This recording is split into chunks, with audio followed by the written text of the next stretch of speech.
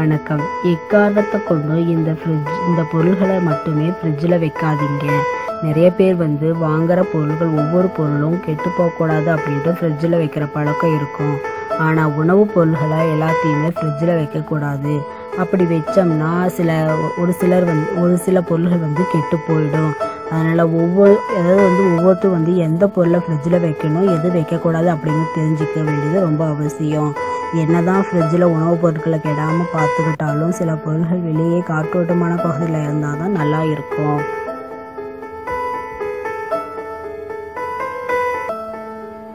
ஃப்ரிட்ஜில் வச்சா அசைவ உணவை சாப்பிடாதீங்க. சரிங்க இப்போ எந்த பொருளெல்லாம் ஃப்ரிட்ஜில் வைக்கக்கூடாது அப்படின்னு பார்க்கலாம். அதை தெரிஞ்சுக்கிட்டு இனிமேல் அதை வந்து ஃப்ரிட்ஜில் வைக்காதீங்க.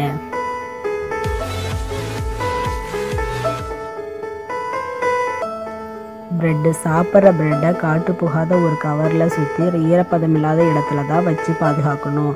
ஃப்ரிட்ஜில் வச்சிங்கன்னா அது ப்ரெட்டில் பூஞ்சைகள் சீக்கிரமாக வரதோட மட்டும் இல்லாமல் கடினமாகவும் மாறிடும்.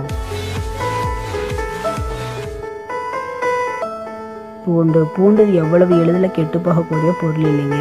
அதிலும் இது எத்தனை நாட்கள் ஃப்ரிட்ஜுக்கு வெளியே வச்சாலும் அது நல்லா தான் இருக்கும். ஆனால் இது ஈரப்பதம் இல்லாத மற்றும் காற்றோட்டம் இல்லாத இடத்துல வச்சிங்கன்னா வச்சு பாதுகாக்கிறது ரொம்ப பரவாயில்ல தர்பூசணி. தர்பூசணியை வந்து சிலர் வெட்டிய வாட்டி கெட்டு போகாமல் இருக்கிறதுக்கு ஃப்ரிட்ஜில் வைப்பாங்க. ஆனால் அப்படி ஃப்ரிட்ஜில் வச்சோம்னா அது அப்படியே சுருங்கி அதில் இருக்கிற சத்துக்கள் போய் வறண்டு போயிடும். வறண்டு போய் காஞ்சிடும். அதனால் முடிஞ்ச வரைக்கும் வாங்கிய தர்பூசணியை பாதுகாத்து வச்சு சாப்பிட்றத தவிர்த்துட்டு அப்போவே காலி செய்துடுங்க.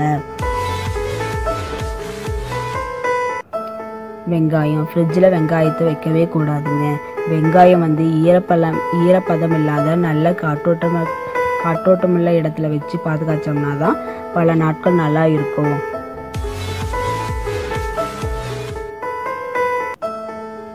அவகோடா வெண்ணெய் பழம். உங்கள் வீட்டில் பிளைன் நிறைய பை நிறந் நிறைஞ்சிருச்சுன்னா இதில் அவகோடா பழத்தை சேமித்து வச்சுக்கோங்க.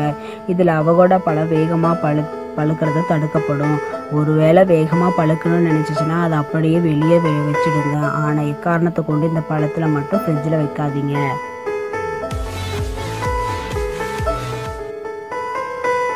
தேன் உணவுப் பொருள்கள்லாம் கெட்டு போகாமல் நீண்ட நாட்கள் இருக்கிற ஒன்று தான். தேன் இதை ஃப்ரிட்ஜில் வைக்க வேண்டிய அவசியமே இல்லை. தேனை உபயோகிக்கும் போது அதில் நம்ம மற்ற பொருள்கள் ஏதேனும் கலக்காதவாறு சரியாக எடுத்து பயன்படுத்தணும்.